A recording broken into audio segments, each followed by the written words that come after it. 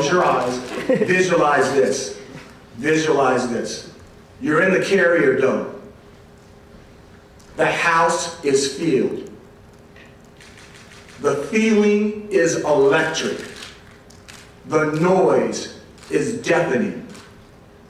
You have a defense that is relentless. You have a special teams that has been well coached. You have an offense that will not huddle.